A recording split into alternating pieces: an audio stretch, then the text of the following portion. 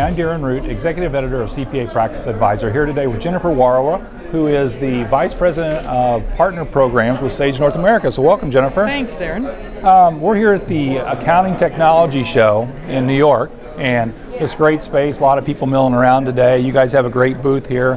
Tell us a little about what, a little bit about what you're seeing so far at this show. Yeah, it's been a good show. Lots of good traffic and lots of great conversations. And we're just looking to always have feet on the street, learning about what's going on in the profession, hearing what the needs of, of small and large firms uh, are, and trying to meet those needs.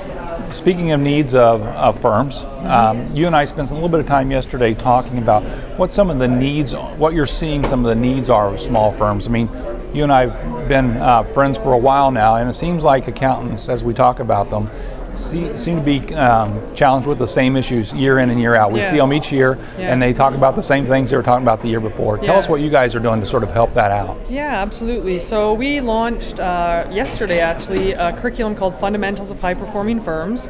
And what we're trying to do is enable accountants to transform or transition one piece of their business at a time. So instead of trying to take off on taking everything to the next level, it's just one piece. Because what we're finding is there's such an overwhelming amount of information out there, and when they try and tackle it all at once, they, they have no first steps and they're yeah. not making progress. So we're trying to say just this one bite-sized piece around your website or the way you market your business or social media. So we're just trying to uh, take one piece at a time. So I think what you and I are both finding is that there's there's really this need for a roadmap, Absolutely. if you will. So yes. and and give give the practitioners sort of um, a process, a set of steps, a checklist yes. to go through, really to take their firms to the next level and, and, take those off, bite those off in small chunks, get them done, move on to the next thing. Does that Ab- sound like what you think? That's exactly what we're finding. Great. Um, Sage One is uh, launched and, and happening. Yes. Tell us what. Tell us a little bit about Sage One. Yeah, Sage One is uh, you know it's a great online platform for small businesses, startup businesses. Okay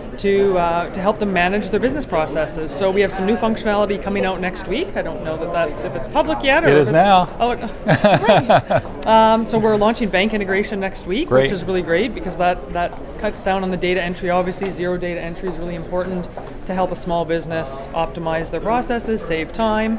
And so Sage One is a big focus for us right now, and we're going to be doing a lot more with the accounting profession around Sage One and helping them uh, get more connected with small and small businesses and startups. Fantastic. Well, Jennifer, best of luck at the show, Thanks, and uh, enjoy being with you in New York. Great. Thank you. Thank you.